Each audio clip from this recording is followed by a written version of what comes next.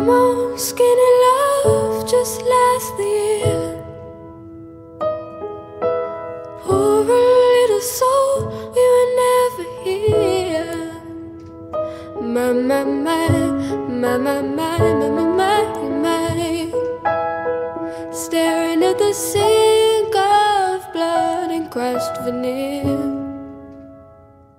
Cuando ella nació sentí algo muy hermoso, porque pues era una niña y tenerla en el brazo pues es algo maravilloso, uno no se lo espera, ese momento más que nada. Pues realmente me sentí un padre feliz. Recuerdo que viene más en la mente porque era, este, ahora sí, llorona, gritona.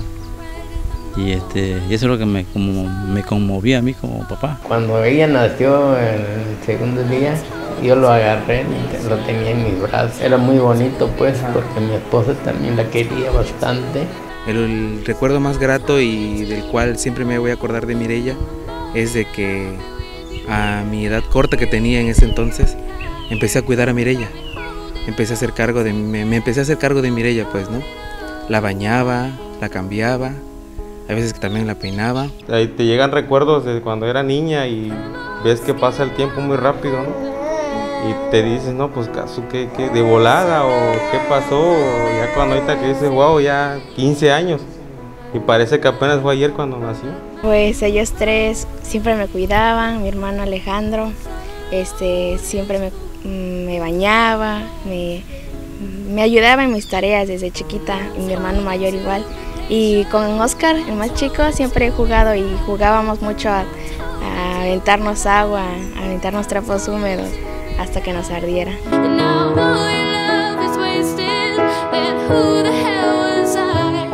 Ella es muy, es muy juguetona, muy traviesa. Y desde pequeñita, desde que era bebita, su papá le puso por ahí un apodito, ¿no?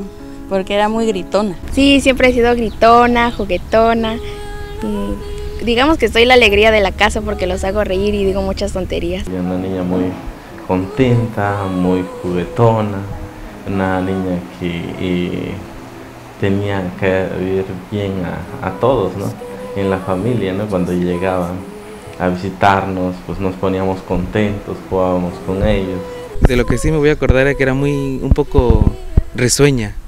Siempre se reía, ¿no? Y como era gordita, siempre, este, pues se veía chistosa, ¿no? Y, y, por ejemplo, cuando empezaron a salir sus primeros dientes y como era gordita, se veía así como que si le habían picado las abejas, ¿no? y más como se reía ella y eso siempre lo voy a tener presente, ¿no?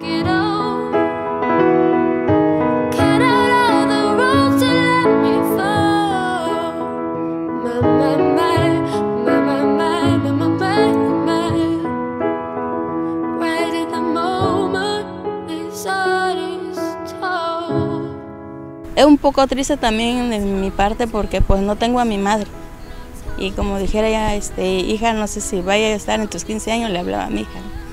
Pero ella no está.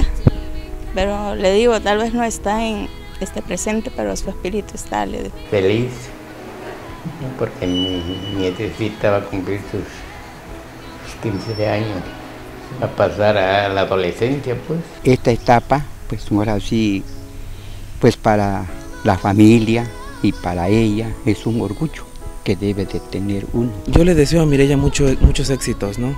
Así como todos los seres humanos cometemos errores, así también de los cuales vamos a aprender. No sé qué le depara el destino a Delia Mirella, pero yo sé que algo bueno. Así como ha venido formándose desde el preescolar, la primaria, la secundaria, ahorita ya está en la prepa. Entonces, este, yo sí pienso que Delia Mirella, pues, va a ser, va a ser algo, ¿no? Va a ser algo y en eso espero y aquí voy a estar yo para apoyarla. Que no se desanime en la vida, hay muchos, este, muchos, muchos tropiezos, pero que, que siempre se sepa levantar y que, que le eche muchas ganas. Me siento alegría porque voy a cumplir 15 años. Nunca pensé que es, nunca pensé llegar a esta edad, ni mucho menos llegar a la prepa. Pero estoy feliz por este gran paso que voy a dar. Gracias a todos por estar conmigo, mi mamá, mi papá, mis hermanos y todos los que me apoyan. Gracias. Gracias.